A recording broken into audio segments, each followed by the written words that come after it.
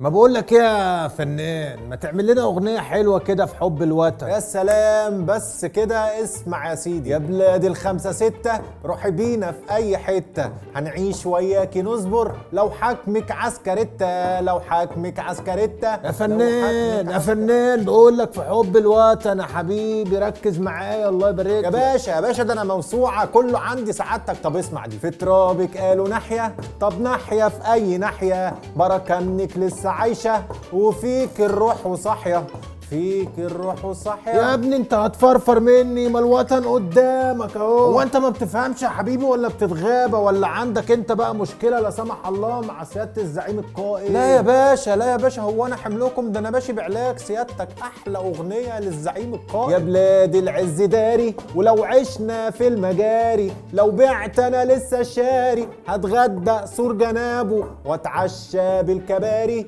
اتعشى بالك ليه يا باشا؟ يا باشا ده أنا موسوعه موسوعه جاب الناهية وشكله راح في داهية. وشكله راح في داهية. شكله راح في داهية.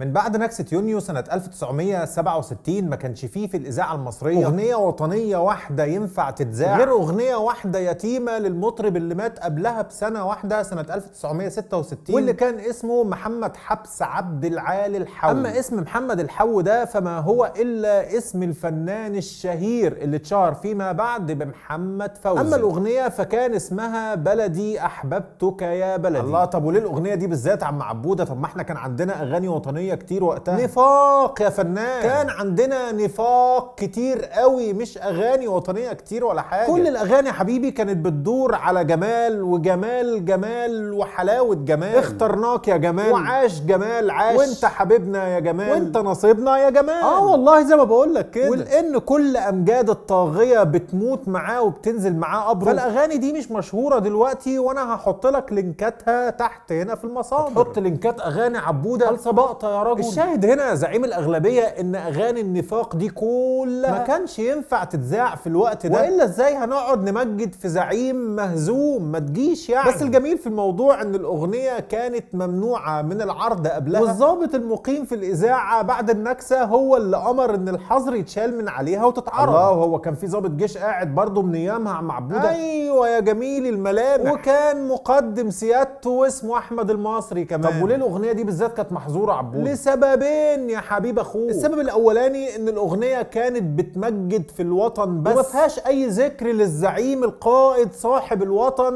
اللي بيصرف عليه من جيب أهله. والسبب الثاني إن الفنان محمد فوزي نفسه كان من المغضوب عليهم والمبعدين. محمد فوزي محمد فوزي؟ محمد فوزي محمد فوزي. بتاع ماما زمانها جاية وذهب الليل وطلع على الفجر والعصفور صوصو كمان يا زعيم الأغلبية. طب اولا إيه مناسبة الحكاية دي ولا أنت طالع تهري وخلاص؟ وثانيا إيه اللي عمله محمد فوزي عشان يتحط عليه كده ليها مناسبة طبعا يا جميل الملامح. ومعاها مفاجأة كمان في آخر الفيديو. اصبر أنت عليا بس. أما عشان تعرف بقى اللي عمله محمد فوزي. فهنرجع شويتين كده لحد النكسة الأولى. أو انقلاب 52 أو نسميها ثورة يوليو يا عم عشان الناس اللي بتزعل. كلنا عارفين إن محمد نجيب اتحط هو في الواجهة عشان لو كان الانقلاب فشل كان هو اللي هيشيل الليلة. ولو الانقلاب نجح فالراجل طيب بقى وشه أبوي كده. ومعروف ومألوف عند المصريين. وسهل يا حبيبي نصدره في الزعامة ونلعب إحنا من تحت الترابيزة. بس لما عمك نجيب فهم التيتا وقال لهم لا أنتوا ترجعوا على سكناتكم. وشكرا قوي على الثورة وسيبوا الشعب بقى يحكم نفسه بنفسه. قالوا له أمك في العشة ولا طارت وحبسوه 30 سنة. فمحمد فوزي بقى فنان كان راجل وطني جدا وبيحب بلده أكتر مما تتخيل. ولكنه للأسف تجرأ وساند محمد نجيب في دعوته والعياذ بالله للحرية والديمقراطية. هنا بعد الانقلاب بأيام بعد ما كله راح يقدم فروض الولاء والطاعة للعسكر محمد عبد الوهاب ويوسف بيه وهبي. وصادق واحد تبين صدقه فيما بعد كان هو محمد فوزي. ولما العسكر اتقسموا بقى معسكرين. معسكر ضعيف مؤيد لمحمد نجيب. ومعسكر تاني أقوى كان مع عبد الناصر. المولد انفض من حوالين عمك نجيب وفضل محمد فوزي المؤيد. عشان ظنها ثورة بحقه حقيق وغنى لها كمان. ولكنه أجرم ولم يغني لثوار العسكر ناصر ناصر ورجالته وكان في نفس التوقيت ده وعلى الجانب الآخر كان في ناس بتدور على مصلحتها وشايفة السكة رايحة فين. عندك أم كلثوم مثلا ضربت مشوار لحد الإذاعة وطلبت كل اسطوانات أغانيها القديمة منها للملك فؤاد. زي أغنية ملك الفؤاد فما عسى أن أصنعها. وجابت كمان اسطوانات الملك فاروق اللي غنت له برضه اللي لسه خالعينه من كام يوم. زي أغنية ميلاد المليك. اللي غنتها له في عيد ميلاده. ويعيش فاروق ويتهنى. وكسرت الاسطوانات دي وهي واقفة هناك سيادتك ونشرت ليها مجلة الكواكب صورة في العدد اللي كان بتاريخ 5 أغسطس سنة 1952 وهي موجودة في قلب الإذاعة وبتعمل اللي قلت لك عليه أما عبد الوهاب ما ضيعش وقت الراجل كان قاعد ساعتها بيلحن أغنية ناصر كلنا بنحبك. بعد ما سحب برضه من عندهم أغنية يا رفيع التاج للملك فاروق. وعبد الحليم شبانة برضه وقتها عمل زيهم. وسحب أغنية التهاني وأغنية ملك البلاد يا زين. اللي اتغنوا للملك فاروق برضه. لا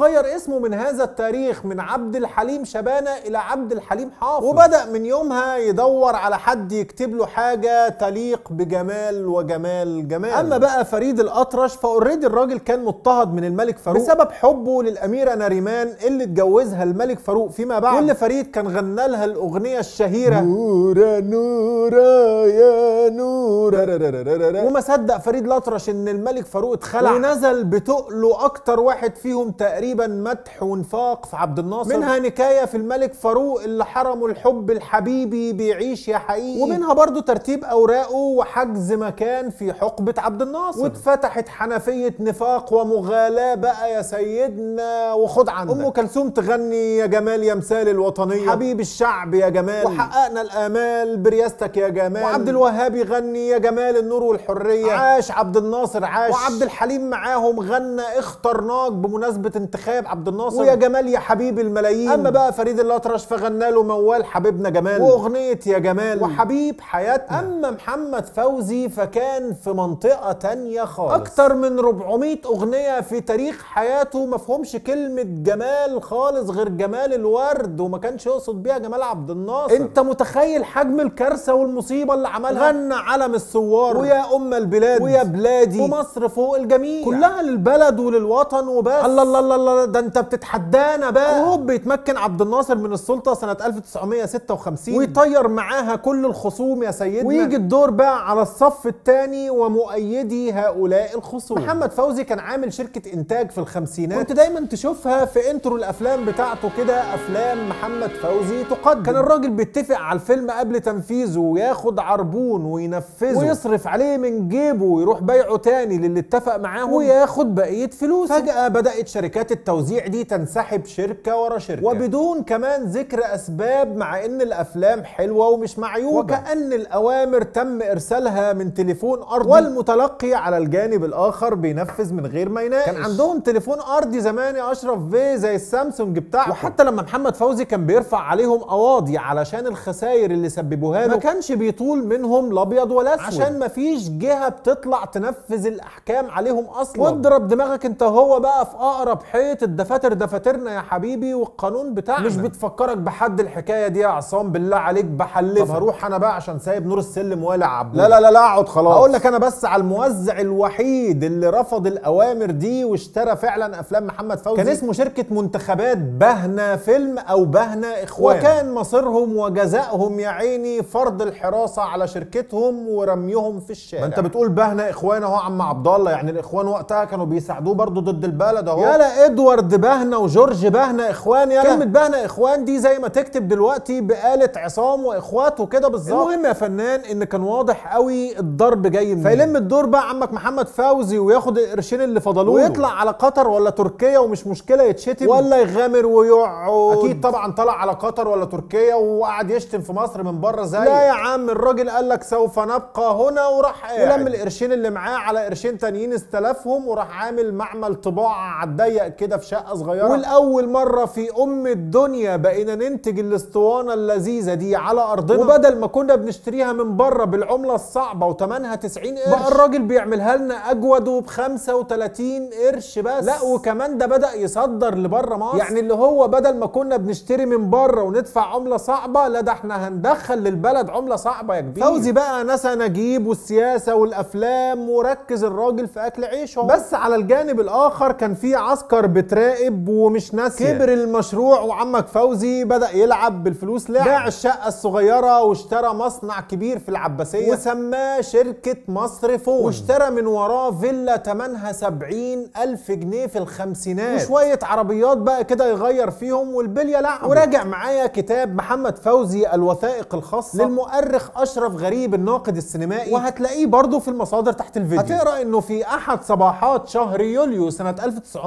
1961 رايح محمد فوزي شركته كالعادة. وإذا بيه يلاقي عربيات جيب عسكرية واقفة قدام الشركة. ما شغلش باله الراجل ودخل وهوب يلاقي مين على مكتبه يا فنان. لا مين عبود. المقدم أحمد المصري فاكره لسه قايل لك عليه من شوية. الراجل اللي بيقول للإعلاميين في الإذاعة يقولوا إيه وما يقولوش إيه. أيوه أيوه افتكرته بس هو كان بيعمل إيه هناك؟ فوزي دخل عليه بكل شياكة كده صباح الخير يا سيادة المقدم. ممكن أعرف حضرتك بتعمل إيه في شركتي هنا وفاتح أدراج مكتبي؟ وبعد ضحكة رقيعة مدوية من سيادة المقدم. قال له لا يا حبيبي ده كان زمان. لا دي بقت شركتك ولا ده بقى مكتبك. وامبارح صدر قرار رقم 118 لسنة 61 من الدولة. بتأميم هذه الشركة العظيمة مصر فون يا فنان. آه والله بكل بساطة كده. ما خدوش الشركة بس ده أخدوا معاها الفيلا والعربيات وكل كل حاجة. وقال له كمان أنت هتشتغل معانا هنا مستشار للشركة. ومكتبك هيبقى في الطرقه اللي هناك. تعرف أنت بقى عصام مكتب صاحب الشركة اللي هيشتغل معاهم مستشار طلع طلع إيه؟ اوضه الساعي وبتاع الشاي اللي جنب الحمام. فضوها وشالوا منها الكراكيب وحطوا له فيها مكتب رخيص على كرسي مهلهل وعملوا له مرتب 100 جنيه في الشهر. وغيروا اسمها كمان وسموها شركة صوت القاهرة للصوتيات والمرئيات. إيه ده أنت تقصد اللي هي أيوه يا عصام اللي هي شركة الدولة اللي موجودة لحد دلوقتي. واللي اتحولت من بعد لمسات العسكر السحرية من شركة بتدخل للدولة دولارات. لشركة بتخسر والدولة بتدعمها من جيبي وجيبك. العسكر صدروها وفلسوها وسابوا شركة صوت الفن المنافس الوحيد ليها في أم الدنيا. تعرف ليه؟ عشان شركة صوت الفن بتاعت عبد الحليم وعبد الوهاب. والراجلين ما اثروش معانا في حاجة الحقيقة. زي عسكر دلوقتي ما بيعملوا كده مع سعودي وحسن مالك. ومدارس ومستشفيات الإخوان بحجة دعم الإرهاب. اخذ ممتلكات الناس ده طول عمره اسمه سرقه وجريمه لا تسقط بالتقادم أيها الحرامية. تسموها تأمين بقى زي عبد الناصر. ولا تسموها مصادرة زي بسلامته. هيفضل اسمها سرقه برضه. وبشركم إن ورثة بهنا إخوان رفعوا قضية بعد موت عبد الناصر. واستردوا كامل مستحقاتهم وقاعدين في ورث جدودهم في اسكندرية لحد النهارده. ما هو مفيش حق بيضيع ووراه مطالب. طب محمد فوزي ما رفعش كمان هو قضية ليه عم عبودة وأخد شركته. لأن محمد فوزي يا حبيبي ربنا يعافيك ركبوا الهم واكتئب وفقد الشهية. والمرض مسك في جسمه من هول الكارثة وما قدرش يتحمل. محمد فوزي أبو وش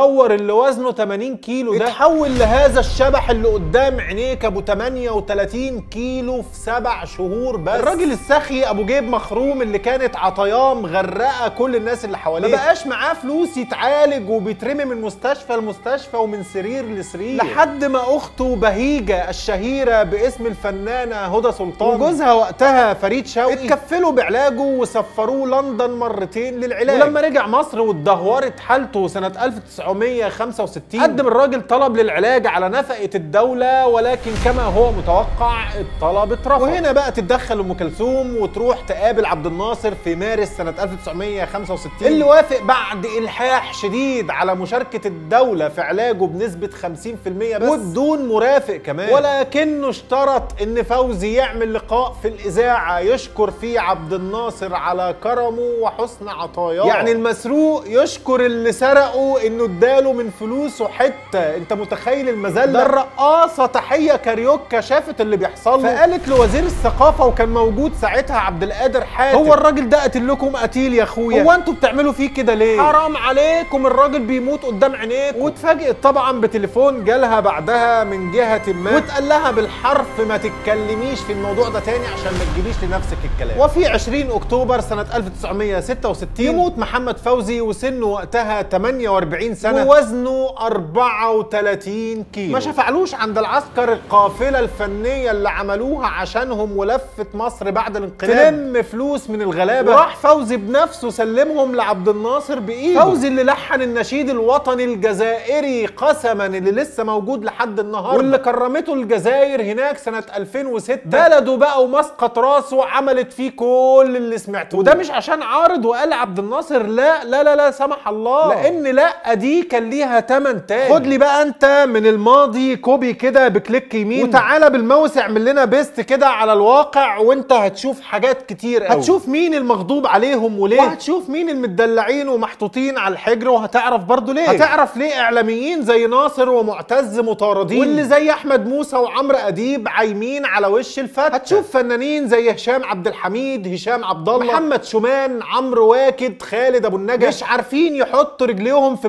بلدهم مصر. في عز ما احمد عز وأمير كرارة. وشريف منير ومكي وكريم عبد العزيز. بيتلمعوا في أم الدنيا وناقص بس يتعمل لهم تماثيل. وغيرهم كتير في كل كل المجالات. في حلقة السرب اللي فاتت واللي اتحذفت بسبب بلاغ من الشركة المنتجة للفيلم. وجهت رسالة للي هيشتغلوا في الفيلم وقلت لهم اللي هتعملوه ده باطل. واللهم قد بلغت اللهم فاشهد وتقريبا يا مؤمن الرسالة وصلت لحد شغال في العمل ومغلوب على أمره. وشغال بالسخره أو بالأمر المباشر وإلا فأنتوا عارفين النتيجة. تبرأ الراجل من العمل ومش بس كده فاداني كمان سكريبت الفيلم كله بالكامل. النسخة اللي مليانة كذب وتلفيق وضلال. 141 صفحة غرضها التطبيل لطاغية. ما اكتفاش بقتل شعبه وهاجر راح يقتل في شعوب تانية. عشان ياخد اللقطة ويلمع ويحسن في صورته عشان ينقلب السحر على الساحر. شهادات الناجين